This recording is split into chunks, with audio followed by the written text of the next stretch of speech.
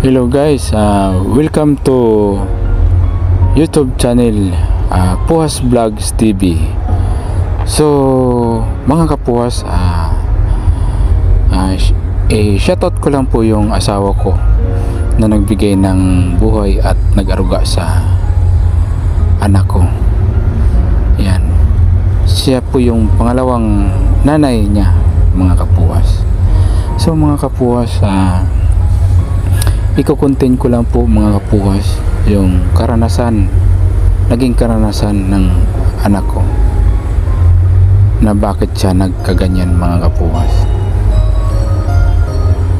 alam niyo po mga kapuhas na nandito po po yan sa, sa akin mga kapuhas ah, nakakapagsalita na po yan ng mama at papa So, hindi nga natin inaasahan na hindi na kami nagka, nagkaunawaan ng dati kong kalabin, mga kapuwas.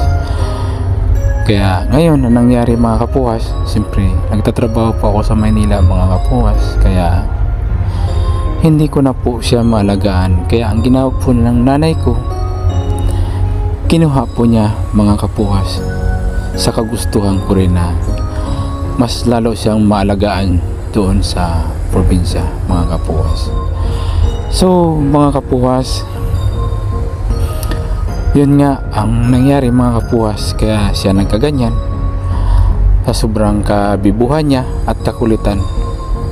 Alam niyo po mga mga kapuwas na naawa po ako talaga. Awang awa po ako sa anak ko pero wala po akong magagawa. Yun po talaga siguro ang nakatadhana sa kanya na kay Lord.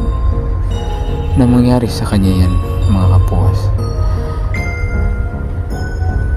noong almost ah 3 years mga kapuas ayun. Pumunta ng ilog yan mga kapuas Ah, nadulas siya.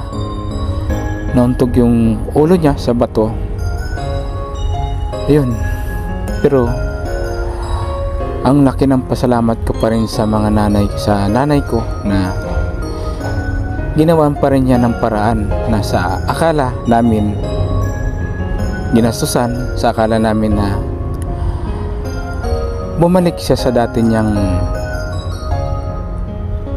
ano pag-uugali at makakapagsalita siya mga puwas. Pero wala talaga mga kapuwas kasi.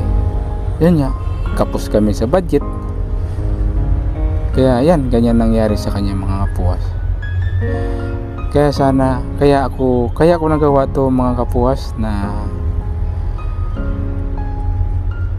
magbablog mga kapuwas at humingi ng suporta sa mga iba pang mga vlogger na sana po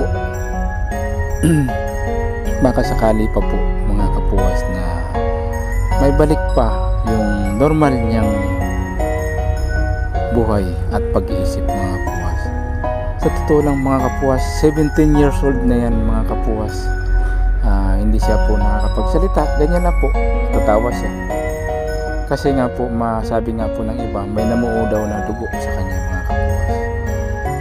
So mga kapuwas sana kung nagustuhan yung video ko. Maraming maraming salamat mga kapuwas. And thank you for watching mga kapuwas